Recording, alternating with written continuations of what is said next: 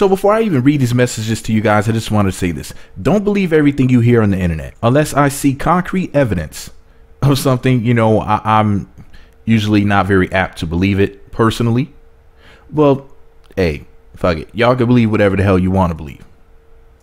So there's an alleged conversation between your man Rose Burgundy and your man Face by London, who happens to be a makeup artist.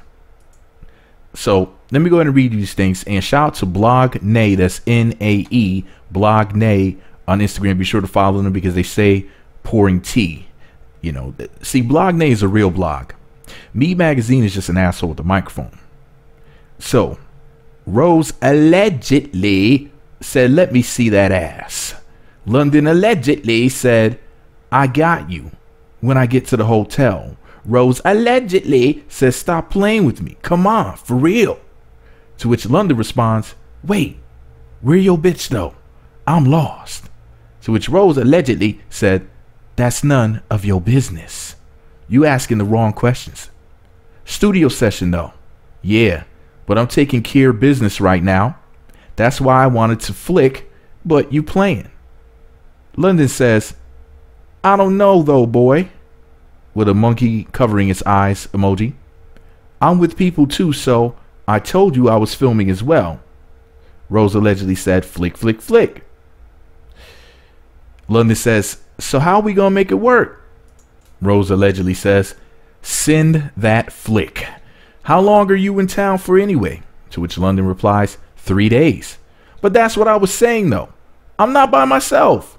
Rose allegedly says, we can get another room. That's no problem. London allegedly says, Yeah, but you're not getting what I'm saying, though. But I guess then. To which Rose responds, allegedly, Come on, fam. You tripping. No pressure. We'll link soon. I should headed to ATL soon, bro. Not really sure when. Here's the thing about these messages and people putting out these alleged conversations. Have y'all ever noticed that there's barely ever any like phone conversations, like recordings, and then that way, you know, we can hear somebody's voice and them, you know, uh, saying these different things, as opposed to a bunch of text messages that anybody may have written. I mean, it, it's it's insane, y'all. It, I, I mean, I I could put together something like this myself. You know what I mean? Like I I could. It's like, come on now. Now, I'm not saying, you know, I'm not saying that these messages aren't real.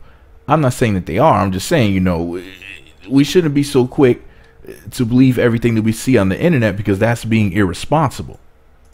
You know? So remember, kids, don't believe everything you see on the damn internet. I'm not saying it's not true.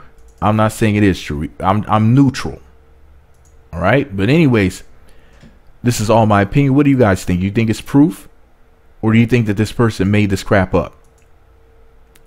And no offense to either party. Let me know what you think about it all below. Be sure to subscribe to the MEET Magazine YouTube channels. Visit meetmagazine.blogspot.com for more. Follow me on Twitter at MEET Magazine, MEET Magazine 7 on Google Plus, MEET Magazine blog and Instagram. Hit the notification button. It's right next to the subscribe button. Looks like a bell. Once you click that button, you'll be sent alerts and you'll be notified when the videos get posted.